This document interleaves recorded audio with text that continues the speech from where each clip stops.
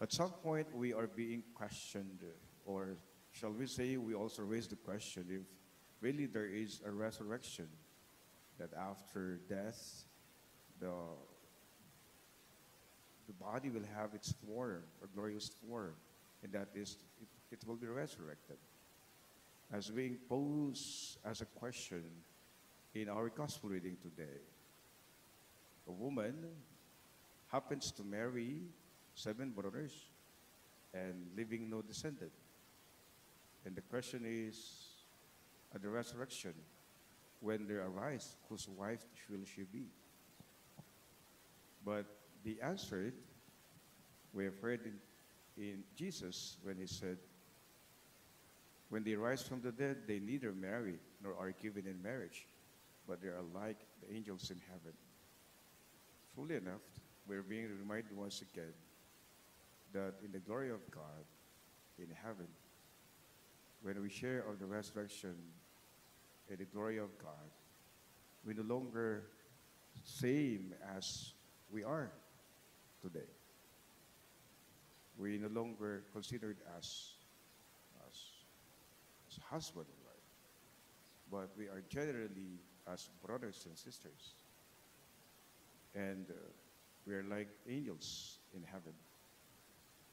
And we've seen here, my dear brothers and sisters, that generally we know that in heaven there will be perfection, there will be perfect peace, there will be perfect joy, there will be uh, the, the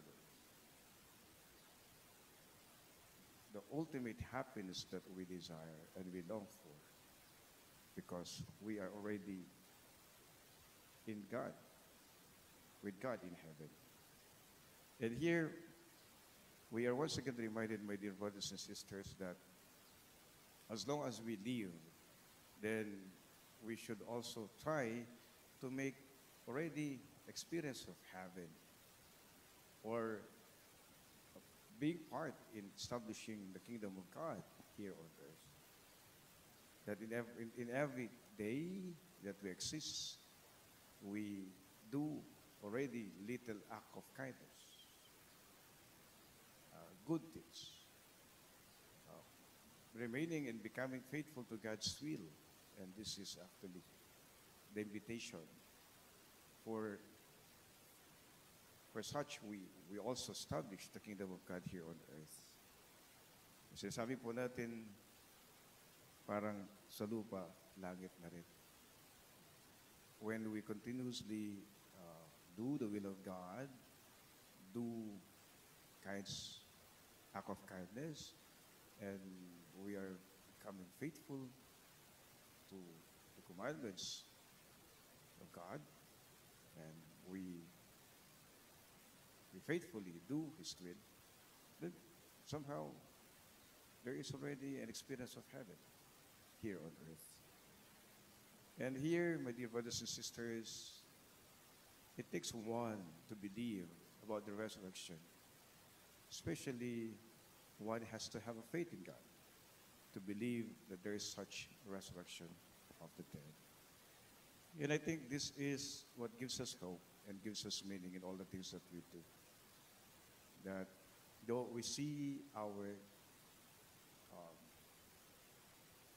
struggles, difficulties in life, our conditions in life, there is there is purpose, there is meaning in everything that we do. Because we look forward to the glory of God and the resurrection of the dead. Which is, my dear brothers and sisters, this is what gives meaning to us. That there is more to expect and there is more to look forward to, and there is better life that awaits us. So I, the life that we have today, it is given to us to make use of it and to make the most out, of it and to live a life filled with meaning, purpose, living it with love and charity. David.